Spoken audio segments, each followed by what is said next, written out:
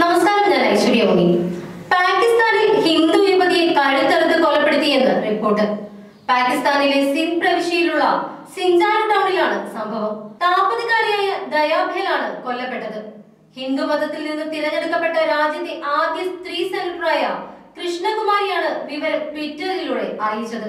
ദയയുടെ ശരീരത്തിലെയും മുഖത്തെയും തൊലി മുഴുവനായും ഉരിഞ്ഞെടുത്തിരുന്നു. കൂടാതെ സ്ഥലങ്ങൾ ഛേദിച്ചു. ഇതിനു ശേഷമാണ് കഴുത്തറുത്തിരിക്കുന്നത് ശരീരത്തിൽ നിന്നും തല വേർപെട്ട നിലയിലാണ് സ്ത്രീയുടെ മൃതദേഹം കണ്ടെത്തിയതെന്നാണ് വിവരം. പൈശാചികമായി കൊല ചെയ്യപ്പെട്ട ദയയുടെ ഗ്രാമം സന്ദർശിച്ചതായും സ്ഥലത്ത് പോലീസ് എത്തിയിട്ടുണ്ടെന്നും കൃഷ്ണകുമാരി ട്വിറ്ററിലൂടെ പറഞ്ഞു. ദയാഭേലിന്റെ മൃതശരീരം വീടിന്റെ സമീപത്തെ കൃഷിയിടത്തിൽ നിന്നുമാണ് ലഭിച്ചത്. സംഭവത്തിൽ അന്വേഷണം തുടരുകയാണ് എന്ന് പോലീസ് അറിയിച്ചു. അതേസമയം കൊലയാളികളെ കുറിച്ച് യാതൊരു വിവരവും ഇതുവരെ പോലീസിന് ലഭിച്ചിട്ടില്ല. ഇക്കഴിഞ്ഞ മാർച്ചിൽ മറ്റൊരു ഹിന്ദു പെൺകുട്ടിയും പാകിസ്ഥാനിൽ സമാനമായി കൊല്ലപ്പെട്ടിരുന്നു. നിർബന്ധിത വിവാഹത്തിനും മതപരിവർത്തനത്തിനും വേണ്ടി തട്ടിക്കൊണ്ടുപോയതിനെ എതിർത്തതിന് പാകിസ്ഥാനിലെ തെക്ക് കിഴക്കൻ സിന്ധ് പ്രവിശ്യയിലാണ് കൗമാരക്കാരിയായ ഒരു ഹിന്ദു പെൺകുട്ടി അന്ന് കൊല്ലപ്പെട്ടത്.